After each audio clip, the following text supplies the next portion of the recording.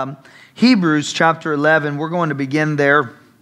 Hebrews chapter 11. We're, we've been talking about prayer and what prayer is and, and how powerful prayer is and uh, how God uses prayer and, and how prayer is, is, is such a vital part of us as a believer. You know, we have to be, uh, we have to pray. Um, all Christians pray. Amen? All Christians pray. We have to, we have to pray. Prayer is not even an option for us as believers. Now, I know that we try to, we, we many times make it optional, but it is an optional as a believer. And so I pray that God would help us tonight uh, and, and see that, that, you know, how important prayer really is. But we've been talking about prayer and how even, even now, as we look around, and, you know, the, the one thing that always, um, I guess, strengthens me and, and always keeps my hopes up is the Word of God. Amen? The Word of God. God says that the glory of the latter house shall be greater than that of the former house. And no matter how dark and how dreary it looks at the time, God said that the glory of the latter house will be greater than that of the former house. And so, therefore, I believe that there is going to be a powerful move of God. Now, in knowing that, we still know that there's a process through that to get to that place. And, and we are in the process. I believe it's a testing. I believe that this is a time of shaking because the things that can be shaken will be shaken. So that as the Bible says, that, that the things that cannot be shaken will remain. And, and you know, we're going to see a, a lot of, uh, of things happening. Uh, I'm seeing a lot of things happening. Anyone with any kind of spiritual uh, sense understands and can see through the false and, and, can see that, that, you know, it's not just about uh, emotionalism. Um, we can get emotional over a lot of things. As we've said oftentimes, I can watch a commercial and get emotional over it. Doesn't mean God was anywhere in the, in the vicinity, but, but I, I got emotional. Um, I can get emotional uh, just uh, at a lot of things, watching a TV show, anything. You can get, doesn't, God doesn't have to be anywhere near it. And, and, but, but many Christians can look at that and say, oh, well, that was, that was God. No, that wasn't God. That was you and I getting emotional. There was a chemical change, and all of a sudden we, we, we felt something, and then it was emotionalism. You know, and, and that's where we have to have discernment. That's where, and, and, and discernment only comes through prayer. The power, the gifts only come through prayer. See, God has offered all of the things in His Word as he said to us, he's given us all these things, but he will be inquired by, by, about these things. All of them are yes and amen, but you and I are not going to get one of them unless we pray for those things. And that's just the way that he's made it. That, that we must pray for the things that he desires and has for us. And, and that's why we have to have discernment because we can go into a, a, lot of places and, and we can, we can and, and I've said this many times, we can hear talent, we can hear uh, the gifting of somebody and get emotional over those kind of things, but God never be anywhere around it. And just because they're singing some kind of a, a, a spiritual song doesn't mean the presence of God was there. You know, there's a lot of good talent. There's a lot of good things out there, but it doesn't mean God's presence is there. And you see, we have to be very, very careful and ask God for discernment. But see, all of this, God says, I will be inquired of about. So the church as a whole is, is in a waste place spiritually. It's, it's in a place of desolation. And, and here's the thing the world knows it. The church is the one that's blind to it. See, the church has gone about, and, and, and anyone who, and, and let me put it this way anyone who has tasted of what is real knows and can tell the difference between what is real and what is false. Anyone who, who, who has experienced the power and the presence of God can honestly tell the difference whether God is there or not, whether it's His presence or it's just me being emotional. Now, uh, admitting it is a whole other thing. You see, I can go and I can hear somebody speak the Word of God and, it, and, and they might, they might have tr- trouble even putting a couple of phrases together. But I can tell you this if they prayed over it and they're, and they're doing it and, and God's presence is there, you're going to feel His presence. Whereas other people can sit there and with their silver tongue put all these things together. And if God's presence isn't there, it was a good presentation, but that's about all it was. And we need to be, we need to pray that God gives us discernment. Again, I'll say it that God isn't going to give it to us until we be, He be inquired of it. That's what He tells us in, in, in verse 37 of Ezekiel 36 that, that the, the Lord says, I will yet be inquired of by the house of Israel to do these things for them. And, and, and you know, God wants to be asked. Why don't we give our, a lot of times we, we wait for our kids to ask us. I've been waiting for you to come. I've been waiting for you to ask me. And, and you know, I, I mean, yes, but you've had it all along. Yes, I've had it all along. But you're going to come and ask me. You can't expect everything just to be, just to, you know, me to read your mind or, or whatever it may be. Because we, we can actually condition our kids in a wrong way by just, by just giving them things before they ask for them. It's good to ask. And God's going to teach us how to ask. See, we cannot do God's will without His help, but He will not do His will without us. His will will be done and there will be someone who will stand in the gap and make up the, the difference. He will find somebody that will want to do His will. He's going to find somebody that will pray. He will find somebody that will seek Him. And when that person does, He will answer. And that's the bottom line. You see, we, we think, oh, well, well, I'm something special. You're nothing special. I, I mean, I don't mean to be mean. I'm nothing special. If, if that's the case, then we're all special in God's eyes. But God will still be inquired by you or me. God doesn't give one special privilege over the other. You know, in, in my house, I don't have favorites. And we shouldn't have favorites. And there shouldn't be this favoritism. But I can tell you this we do have intimates. The person, the, the, the one child, you, you don't ask for it, but they come to you and they keep coming to you and they keep coming to you. And it's kind of like the older, the, the, when you look at the prodigal son, the older son and the younger son. The older son gets all upset when the younger son comes home and the father slays the fatted calf and the whole thing and, and everything. And the younger son, he realizes his, his, the error of his way. So, therefore, out of gratitude, when he sees the father, he loves the father. The father doesn't even have to ask him to do things, he just does them. Eh, you, get this sense of the, the younger son is so grateful that he's just there. And what, what do you need now, father? What, do, what can I help you with, dad? What? And so he eh, realizes the older, where's he at? And he goes out and he says, What's wrong, son? He says, Well, you never slayed the fatted calf. He says, You've been in my house all this time. You never asked. It was always yours to slay. You could have done it any time. I wasn't going to argue with you. See, I don't believe that it was the fact that he slayed the younger son, the, the, the fatted calf for the younger son. I think that the, the, the older son just got, got jealous because he didn't do it for him. He could have had a barbecue, invited all his friends over, and dad wouldn't have said anything about it. It was his all along. And you see, when, when, when we see that there, and, and as a parent, we see our children have different needs. It's not that we love one more than the other, but sometimes one is more needful than the other. And that's just, that's just the honest truth. But it's the one that keeps coming to you that gets most of the attention. Whereas when they keep coming to you and getting most of the attention, then the others start saying, well, well there's your favorite. It's not that they're your favorite. Why haven't you been coming? I've reached out to you, but you don't. Why? Well, I, have never needed it. Well, that's why you feel the way that you do.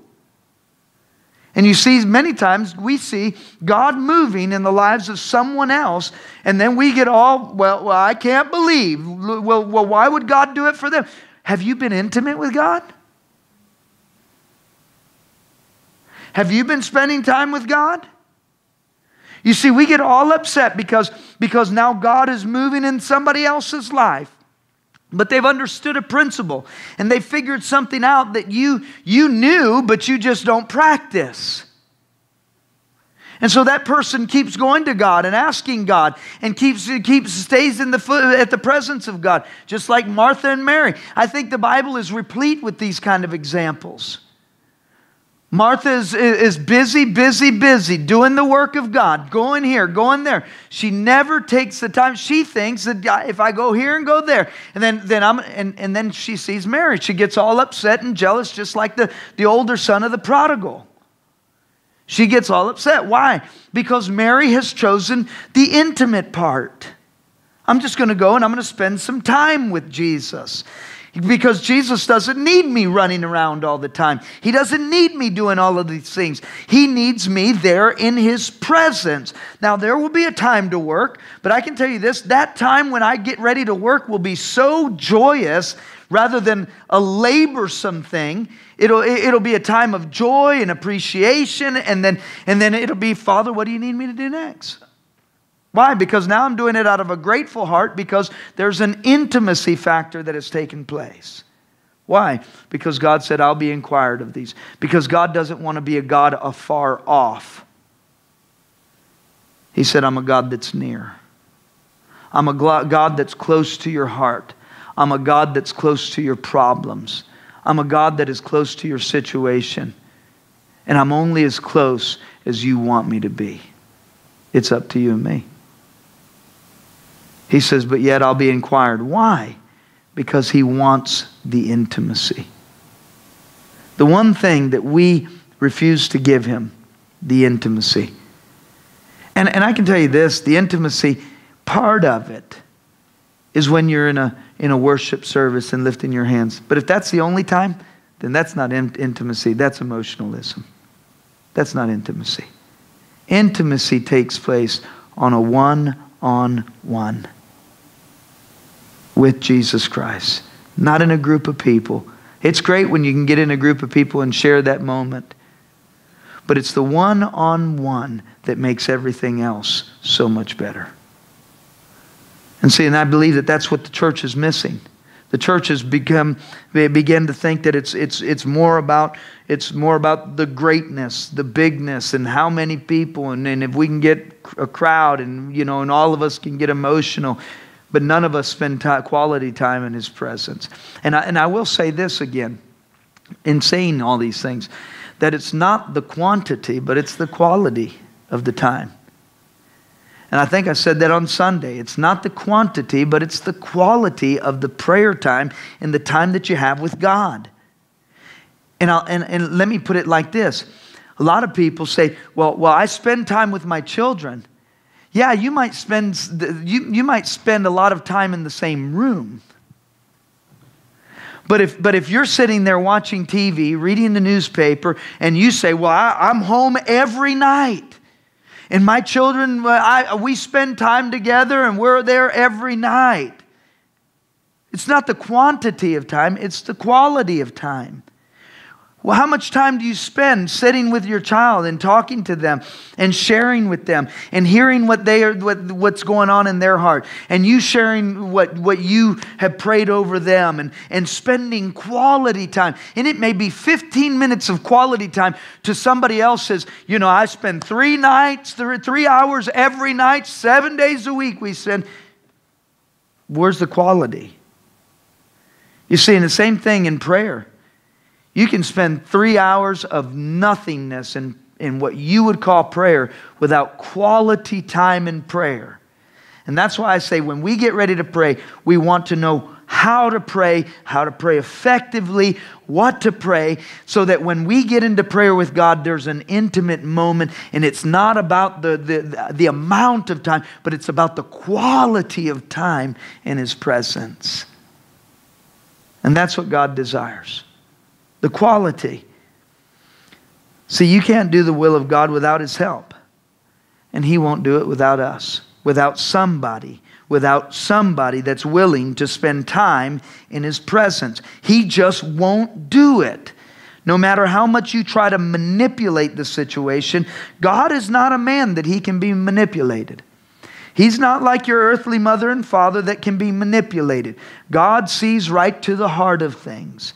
He knows whether you're coming and, and trying to butter him up just because you're about to ask him something. He knows better. And so he won't be fooled like that. See, if we believe anything, see, we don't, we don't have an option in what this what we call prayer. Prayer is not optional. I know a lot of, I, I, and I'm not even, and I'm not even making it up. I'm telling you, there was one minister that that said, you know, who we don't have time to study. All the study has already been done.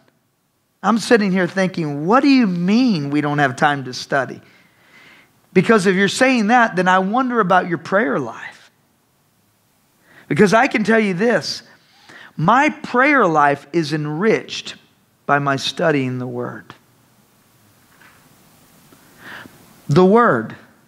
Yes, other books and stuff are good helps, but, but the Word, nothing is like the Word when I can memorize the word and, and recall it in that moment of prayer, when I can, when I can find myself in intimate worship with God, just me and Him.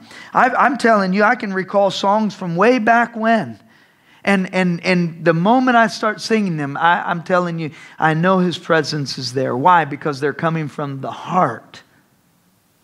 They're coming from, from, from a time of study and preparation. They're coming, and, and, and one thing I remember one, uh, my, my old pastor telling me was never let the opportunity to preach drive you to the Word.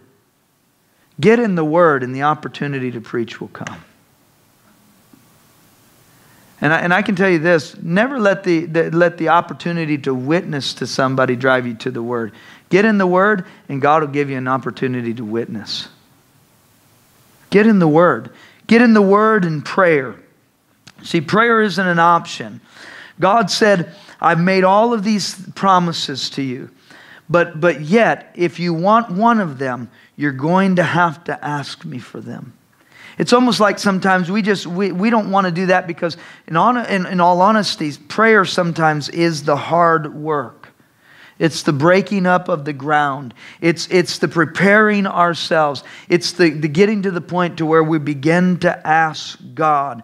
You know, though he, even though He made all of these things and all the promises available to us, He said, You're going to have to come to, pray, to, to me and ask me for them.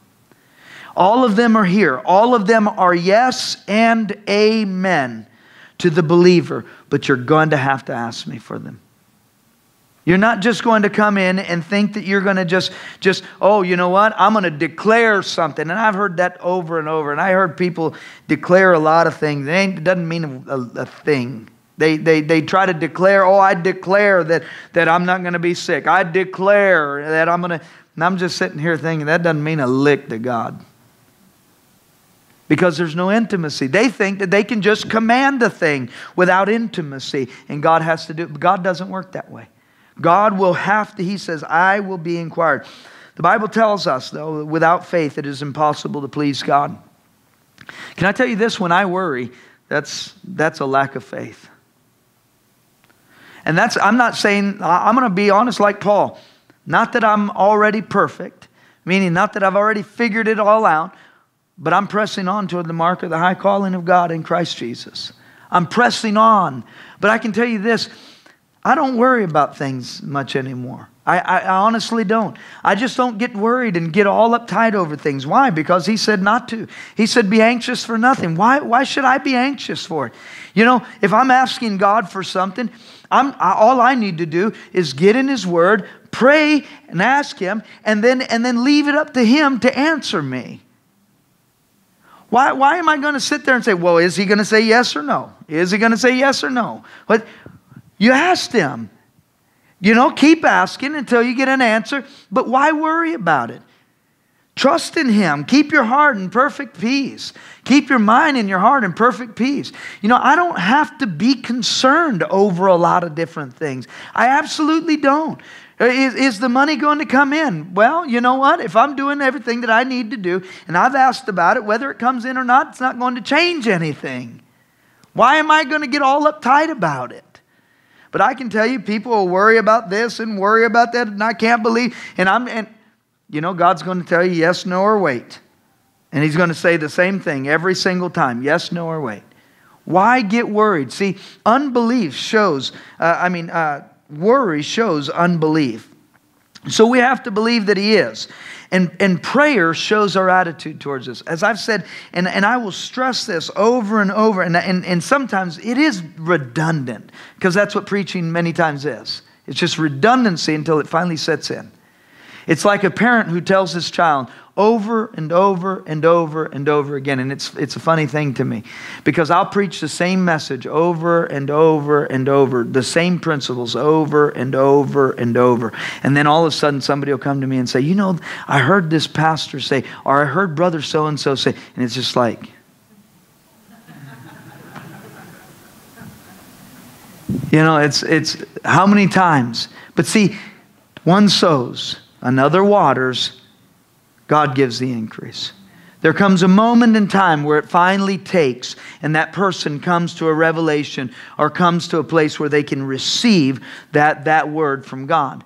And so I, I don't have a problem saying the, the same thing over and over and over. We have to believe, and our, and our attitude towards prayer shows whether we believe God or not. I'll, I'll pray if I believe prayer is effective. I will pray if I believe that prayer is the answer. Now, you can ask a Christian, and most Christians will say, Oh, prayer is the answer, right? Most Christians will say, Oh, well, I'll be praying for you, but do they really pray? Most Christians will say, Yeah, if you have an issue, have you prayed about it? And, and we know that prayer, we, we, in principle, we know that prayer is the answer. But my doing speaks more than my saying. How much time do I spend in prayer? And when I have a pressing issue that's, that, that's taking place in my life, is the first place I go to prayer. You see, I mean, is, is Jesus the first thing that comes to my mind? Rather than going to the internet, rather than calling up your, your, your in laws or, or your brother or your sister, rather than uh, going somewhere else or, or looking at your bank account. Can we afford that? Can we do this? Can we do that? What, what's, what's the first response? Many times, prayer is the last thing we do. Why? because it shows our attitude towards prayer. It shows our attitude towards God. We don't believe that God can or will answer it fast enough for us. So prayer becomes the final issue rather than the first. And so, so, so it shows our attitude towards God. It shows our, our faith, our lack thereof. When you and I come to a place of prayer, we're showing our attitude and, and saying that we believe that God is who He says He is. In a place of prayer, I demonstrate my absolute, total submission and dependence upon God. When I get down to pray, that's what I'm showing. I'm showing my, my absolute, uh, uh, total dependence and submission toward God. God, this has always been under your control. This has always, always been your, your problem, not mine. If I am your child, then this is your issue, not mine. It's, it's not about me, it's about God. So God is going to deal with our attitude towards Him, towards His provision, towards uh, against the world, towards every, every circumstance that we're faced, towards grief, towards bitterness, towards hurt, towards everything will be dealt with right there in prayer. It'll be our attitude towards God. So, Hebrews chapter 11 and 6, it says that without faith it is impossible to please God. Now, this is this I believe most of us could quote. For he that comes to God must believe that he is, and that he is a what? A rewarder of those who diligently seek him. I mean, we could say that. We, we've read it so many times that it's easy to quote. But see, he's going to, he's going to take care of our attitude towards him.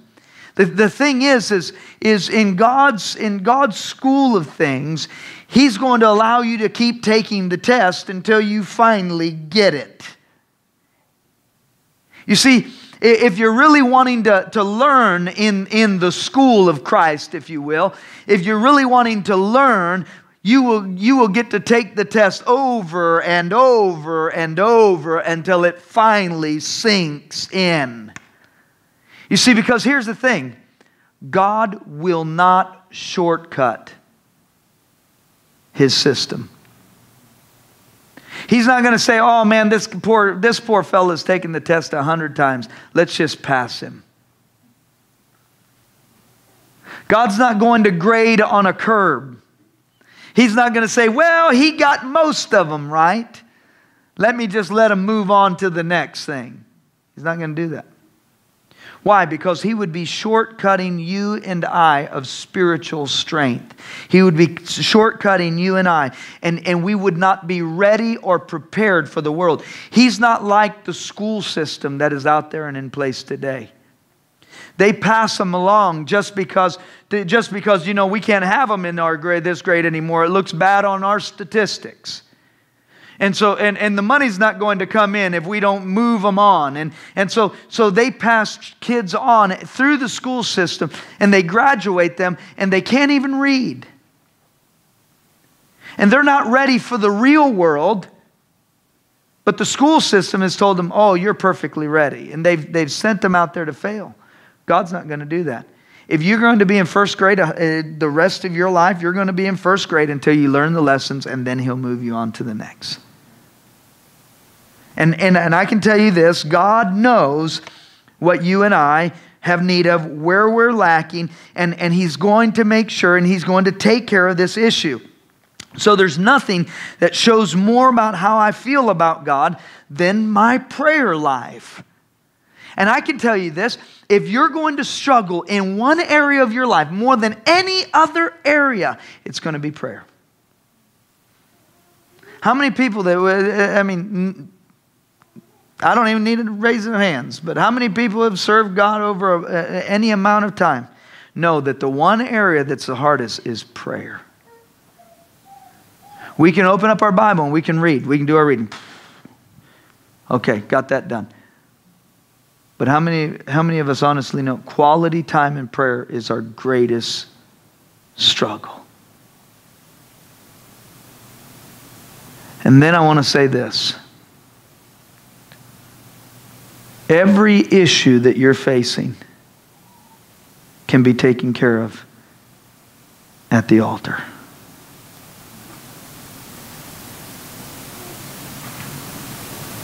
Why do you think Satan fights you and I so hard in this area called prayer?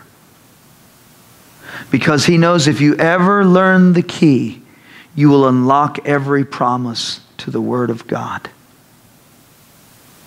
in effectual, fervent prayer.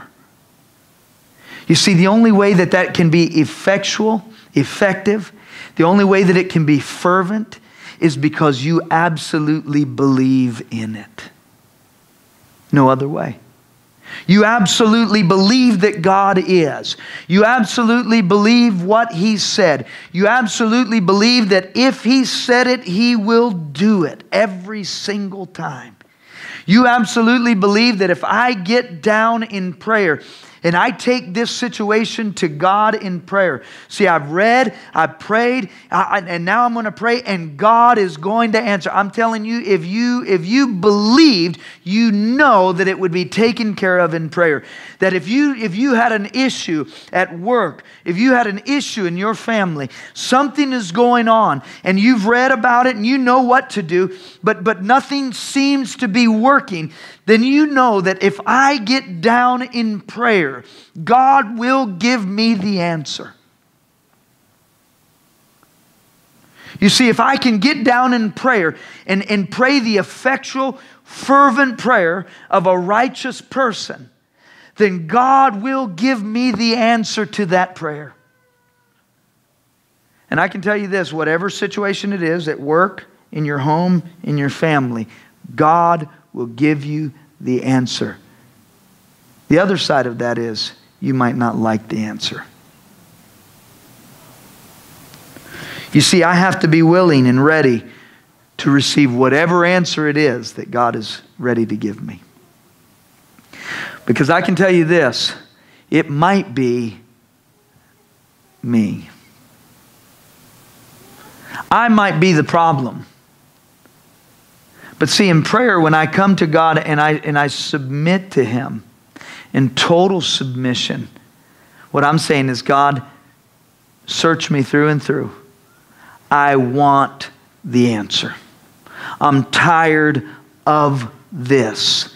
I need you to help me. And I can tell you this God will help you.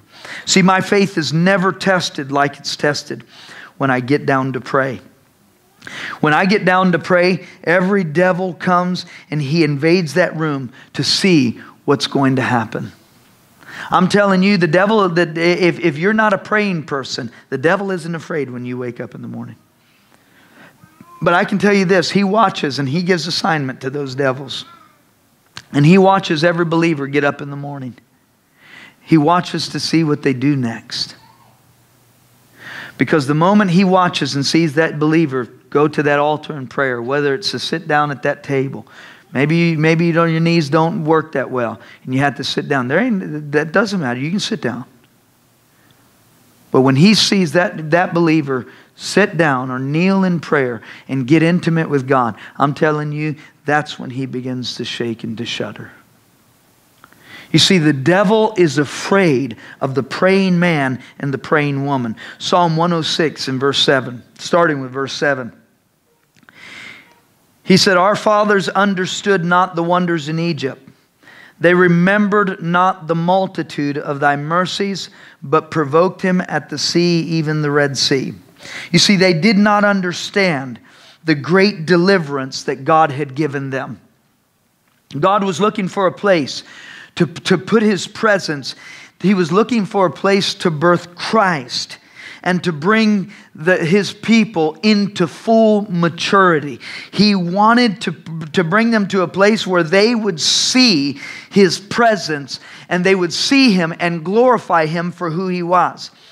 See, the Bible says that there's more rejoicing in heaven over one sinner who repent, repents than anything else. Why? Because a new creature is another opportunity for Christ to be put on display in the world. And, and, and, and let me put it like this the new creature is another opportunity for the image of God to be seen. I, I was able to, to preach this, this past week out there in, in San Carlos, and, and man, what, a, what an awesome time we had. And, and we were able to see the power of God move. And, and the, the last night, there was a group of kids this last night. It was last night. We, uh, I think, group of about five or six kids just came right off the street. We got to pray with them. And, and to see God begin to break the chains. And I was speaking about the man of Gadara, who, who Jesus Christ had cast 6,000 demons out of, thousands of demons out of and, and how, how God broke the chains over his life. And, and you know, we, we, we look at, we count success by numbers. We count success by numbers. Jesus counts success by quality. You see, because of Jesus, if God be for us, who could be against us? And so, so we, we were sitting there, and, and you know, you labor, they that labor eh, eh, that, that, that sow in tears will reap in joy. And, and then all of a sudden, we get to see a, a small breakthrough. But, but see, here's the thing the man of Gadara, he was one man who God broke the chains off of his life. He broke the, the, the he, he took and he set the man free. Now, the man in the end wanted to go with him. And Jesus said, No, you're not going with me, but you go back into that place. And you go back and you tell them all of the great things that God has done. See, because the Bible says that they knew this man. They didn't know, they didn't know Jesus. They didn't know the preacher. They, didn't, they could care less about the man up there speaking the word of God. But they know those little kids and those young men that were out there on the street that come up and down that street all every day doing their bidding. You see, when they see their lives change for the glory of God, then they will begin to ask God. They don't care about you and me. Good, we get to go out and preach the gospel. Thank God I had the opportunity to do it. But you know what? The miracle wasn't me. The miracle was that young, those young men that got saved. It was those young men that prayed that prayer. Why? Because they're going to see them because they know what life they were. They know where they came from. They know what they were like. It is, it is it's nothing about you and me. It's all for the glory of God. You see, but unless we have a big event and we got thousands of people out there and eh, That doesn't impress God. One man of Gadara goes back and he preaches. You know that that that where he went to preach, there were 10 cities. And and I forget all of the cities that were that were there, but it was right there off the Sea of Galilee. Who was the evangelist for all those places? But the man who was possessed with, with, with thousands of demons that everybody knew and everybody was afraid of, now they see him talking about the love of God, the grace of God, the power of God, and they see God all over him. They see the image of God on him. And the same thing with those young men. Why? Because it wasn't about us, it was about Jesus Christ being glorified. You see, Satan tried to destroy the image of God in that man. In, in so many ways. And the reason why Satan hates you, the reason why he hates everyone out there, is because when he sees them, it's not about them. And I'll say it again it's not about them. But because we were created in the image of God, every single human being that Satan looks at, he hates because it reminds him of God. And we think, oh, it's about me.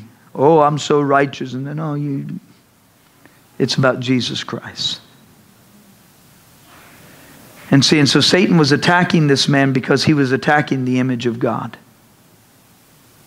But Jesus Christ set him free and turned it all around. You see, that the, the people of Israel forgot what God had done for them. And I would dare say many Christians have, have forgot what Jesus Christ has done for them, just like the children of Israel forgot how God set them free. Now, for us to do anything, they want me to serve in church. Why would they want me to serve in church? My goodness, don't they know that I have this, this, and this, and that? My goodness, well, why, why do they want more out of me? You know what? We don't need anything out of you, but, but I can tell you this you've forgotten something. You have forgotten what Jesus Christ has done for you. You have forgotten what He saved you from and what He has saved you to. And if you don't remember that, and if you forget for too long, you might end up in the place where you were before. It's good to serve. It's good to get out of your comfort zone. It's good to give above what you think you can give of yourself. I don't have any more time, but I'm going to give it anyway. I don't, I don't have the extra, but I'm going to give anyway. Why? Because of what Jesus Christ has done in my life. You see, when I begin to pray, when I begin to show, uh, you know, my gratitude towards God, my faith in God is in that altar. And in verse 8 of, of 106, it says, Nevertheless, he saved them for his name's sake. And there you see, it wasn't about them, it was about him.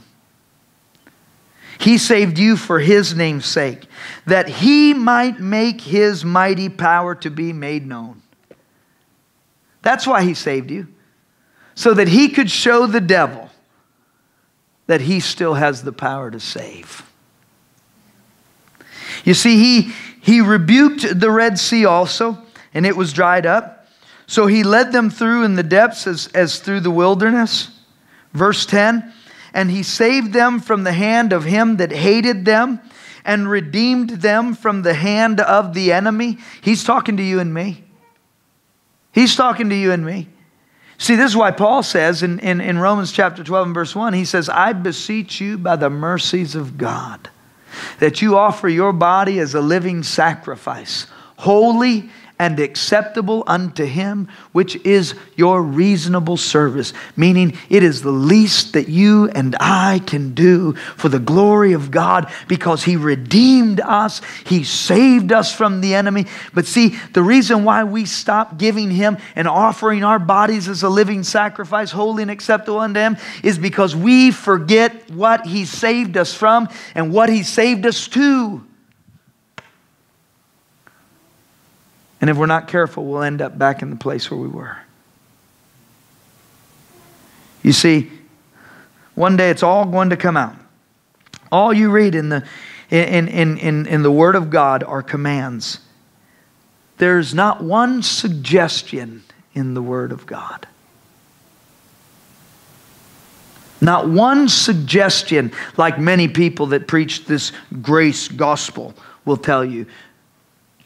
They're all commands. Offer your body as a living sacrifice, holy and acceptable unto God, which is the least that you can do. For all that He's done for you, Jesus Christ went to a cross and died in your place. He took your sin upon him. He took your sickness upon him. He took, he took even the very, the very, the, the, the, the, torment and the torture, the things that brought you peace, they were, they were laid upon him. The reason that you're in your right mind tonight is because all of that garbage was laid upon him. And if you forget that, you'll get it back. And the second state of that person will be worse than the first. And he says, It's better to have never known me than to have known me and turned your back on me. Because I can tell you this, it will be much worse for you the second time around. You see, but we, we, get, we get complacent. Verses 11 through 13 read, that, read like this And the waters covered their enemies, there was not one of them left. They then believed they his words. They sang his praise. And listen what verse 13 says. They soon forgot his works and waited not for his counsel. Did, you, did you get that? I mean, you, you just heard, and the waters covered his enemies, and there was not one of them left. Then believed they his words, and they sang his praise. They soon forgot his works, and they waited not for his counsel. They no longer found prayer to be a necessary thing. Why? Because they got at ease in Zion. God had given them everything that they needed. He had provided every need for them. He did all of it for them. So they stopped praying. You know, that was one of the things that God warned them about when they got ready to go into the, in, into the land of Canaan. He said, Be careful when you get ready to go into the land of Canaan.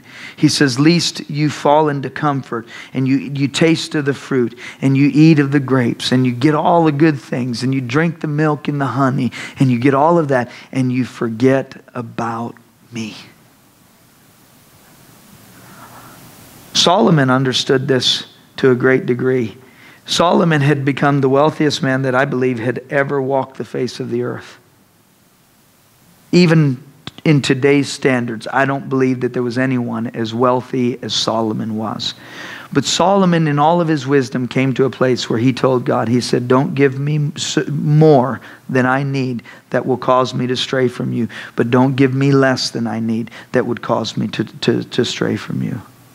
Give me exactly what I need. I can tell you this if you have to live a life of misery every day of your life in this life, so that, so that in the end you will be with Him in glory, it will be worth every moment. I'm telling you, there's, there are actually people like that. That God has to save by fire And I, and, and, and I would, and anyone who would argue that is a hypocrite. You see, don't give me more than I, that, so much that, that I'm going to stray from you. You see, a lot of people pray, oh, God, if God would just give me a million dollars, I'd do this and this. No, he, and, and He won't give you a million dollars. Why? Because He knows exactly what you'll do when you get that million dollars. But, but and, and some people, well, well, you know, I, you see them dragging, seems like all their life, they just seem like they're, they're, they're, they're in trouble. Why? Because, because that's what keeps them on their knees. Why? Because they continue to forget what God has done for them.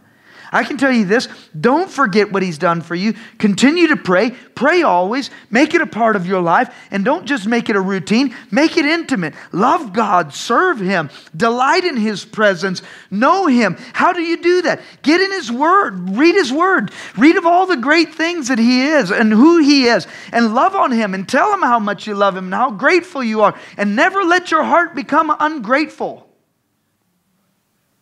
Because the day that you let it become ungrateful, I'm telling you, you'll stop praying. And then you'll begin to forget. And when we stop praying, that means we've already forgotten. And it's no longer a necessity. You see, prayerlessness is a heart of unbelief towards God Himself.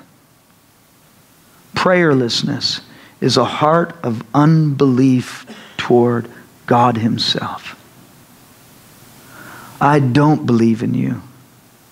We don't say it like that. We just don't pray. I don't believe in you. When we're not praying, that's exactly what we're saying. I, I, I mean, that's, that, that's kind of a hard word, right? But it's absolutely true. Because if, if, if you believed in him and believed that he was all that he said that he is, you wouldn't miss an opportunity to pray to him. And I pray that we would. We, our, our prayer lives would be ignited. I pray that, that, that we, would, we would find a newfound relationship with God in prayer, that there would be this joy of getting into His presence and allowing Him, because in those moments we begin to take on more of the image of Jesus Christ. We become more like Him as we behold Him in the Spirit and in prayer. When we get into the Word and we hear about Him and we begin to pray and we rejoice in His presence, then we can come into the house of God and rejoice with all the other believers. And then our rejoicing will be so much more real. It won't be a, a show, it won't be a performance. It will be, man, I, am so glad that I'm in, in the house of the Lord with fellow believers, that we get to rejoice together and we bring our faith and our love and our joy for, for our Savior and we rejoice together. And then God sees that and rejoices over us. There's a response on His side to faith. And nothing speaks of our faith more than our prayer life. Nothing speaks of our faith more than our prayer life. And it will never change. And as I said, God is never going to change the system. He will not change it for one person because everyone is the same in His eyes. Everyone. He is no respecter of persons. He created each one in their mother's womb. This is something, this is something that, that, that we'll have to learn. We'll have to learn. Even in missions, in evangelism, we will have to learn. God is no respecter of persons. We are. Even though we don't like to say we are, many times we are, and we've been conditioned that way. You see, when a, when a missionary or an evangelist goes and speaks to the people, he has to realize, and he better realize, there is no difference between him and that sinner that's sitting on the corner. God loves them both the same. And, and, and here's the thing it doesn't matter how educated and how fixed up he is and how uneducated that person is out there. God loves them just the same. And He's no respecter of persons. When we start thinking, oh, well, I had to come for your sorry soul, you're worse than He is. Just like that, just like that, that, that Pharisee, that publican that prayed, oh, glad I'm not like him. You see, there's no difference. You see, we, we come to a place where we think, and, and in our mentality of ministry, I, I'm telling you, the church has gotten it so wrong on so many levels. We come to a place of mentality when we go to evangelize a place or we go as a missionary to a place and we think they need me here. No, they just need to hear the gospel of Jesus Christ. Can I tell you this? Jesus didn't need to stay there with the man of Gadara. After he had received the good news, he was able to go out on his own. He didn't need Jesus standing by him every second of the day telling him what to do. Why? Because he was a new creation in Christ Jesus. All things had passed away, all things had become new. Now he was able to preach the gospel to his own people. He didn't need the missionary there.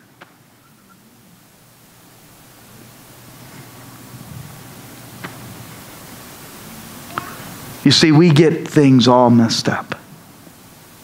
Jesus never did.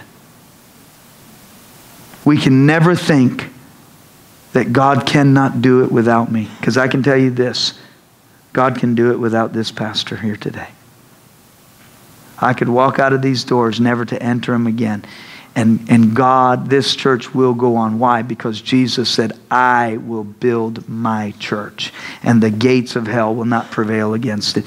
This church isn't built upon me, upon my ministry, upon anything to do with me. This church is built upon the rock of Jesus Christ and Jesus Christ alone. Never think that we're more important than somebody else. We are all a piece of the puzzle. And if one piece is missing, it's not complete.